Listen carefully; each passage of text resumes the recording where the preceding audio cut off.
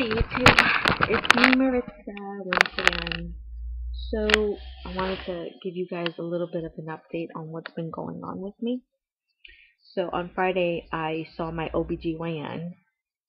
Um, as a matter of fact, I was supposed to bring in a 24 hour urine, so I decided to do it on Thursday so that when I went in on Friday, it was just like a fresh catch of urine throughout the whole 24 hours prior.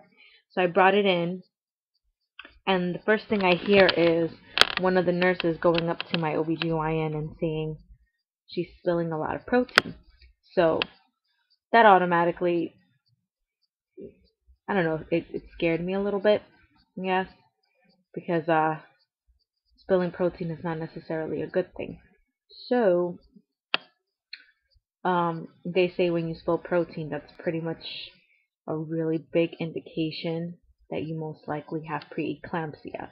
But the thing is, since I had the kidney transplant, it could also be the kidney losing some function. So today's Monday, April 7th, 2014. Tomorrow is my birthday, and I turned 28 years old. But uh, hopefully this week I'll get a call ASAP regarding the blood work I did. I did some blood work to see what the further testing will determine regarding my health.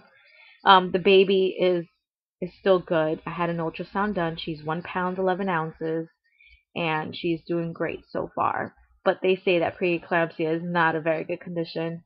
It could be very very risky for the mother and for the baby. So um, spilling protein, but my blood pressure was normal. My blood pressure, since I've had my second kidney transplant, I have had low blood pressure my blood pressures are always very low. So, um, but technically, preeclampsia doesn't always have to determine high blood pressure. It can also determine the protein leaking in the urine. So, uh, I have had some symptoms that worry me. Last week, prior to the appointment, I had a headache three days in a row. That's that's a, a common symptom of preeclampsia. I'll put the laptop over here so I'm comfortable. Um, also, uh, my urine output has decreased a fair amount, so that also is a symptom of preeclampsia, so that worries me as well. Uh, okay, so let me just tell you what preeclampsia is. It's a condition.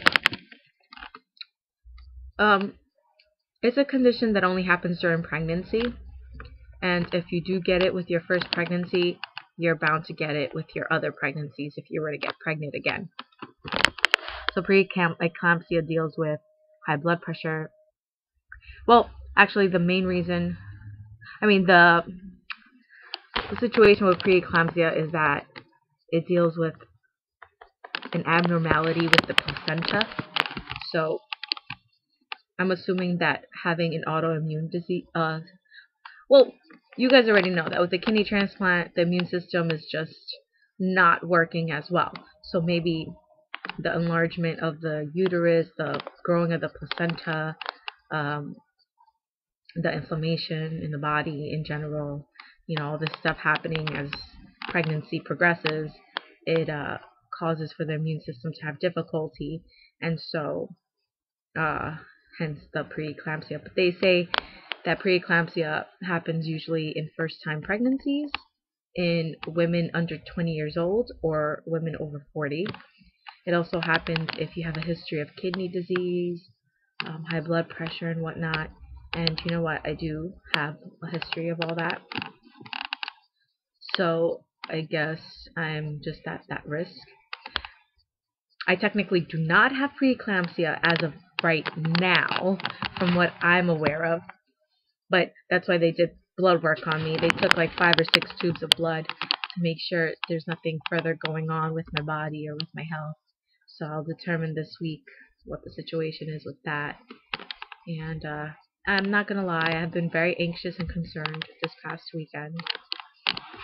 It's been very tough for me because, you know, that means that, I mean, you know what, you know what matters is that, if anything, it's been caught fairly early I'm about to be 26 weeks pregnant. No. I don't even know anymore. Um, is going on with my mind?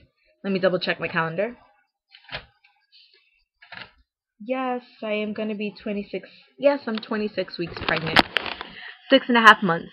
They say that after 20 weeks pregnant is when the chances of preeclampsia are are uh, common.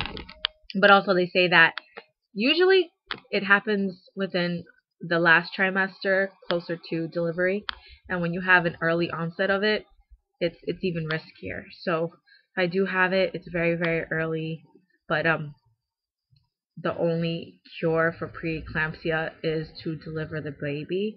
But of course, at this stage, the doctor's going to want the baby to stay in the bun for as long as possible, for as much as I can handle, because I'm being affected, and if I'm going to be affected, then my baby's going to be affected.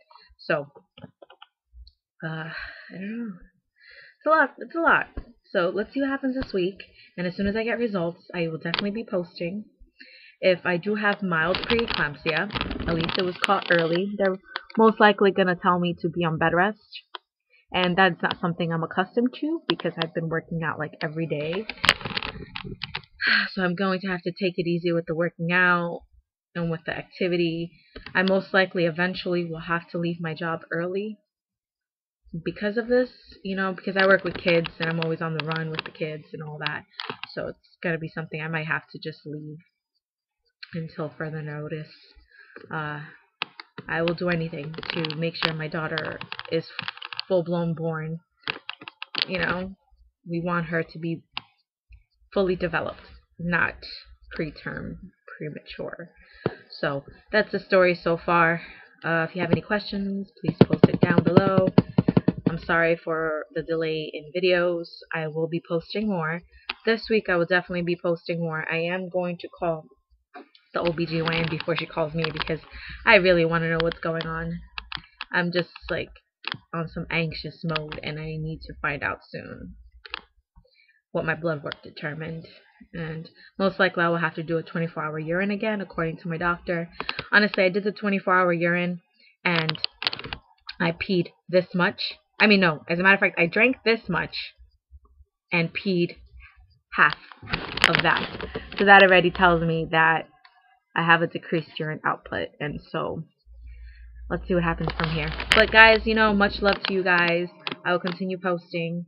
Even if it means every couple of weeks, I promise I will keep posting because I know there are many kidney transplant patient females who would love to get pregnant or who are pregnant and you know, there's never enough information for us.